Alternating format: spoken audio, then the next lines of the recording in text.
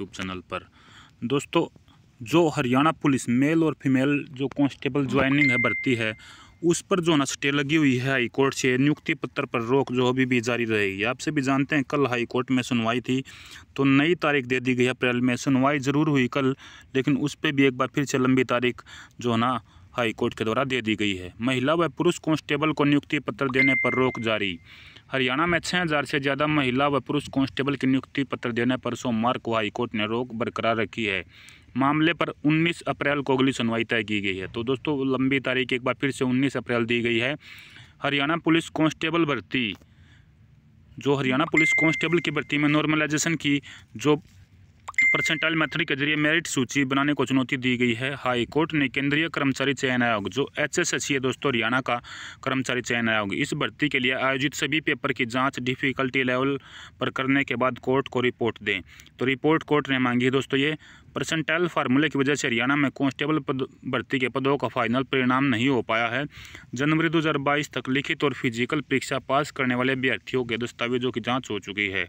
बावजूद इसके आयोग भर्ती का परिणाम जारी नहीं कर रहा है।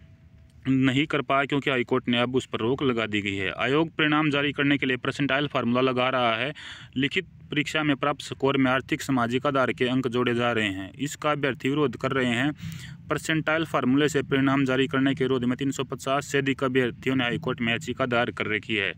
आयोग परसेंटाइल स्कोर के अंदर सामाजिक आर्थिक आधार के अंक जोड़ रहा है। इससे मेरिट वाले अभ्यर्थी बाहर हो रहे हैं। और केवल आर्थिक सामाजिक आधार पर अंक करने वाले को नौकरी मिल रही है।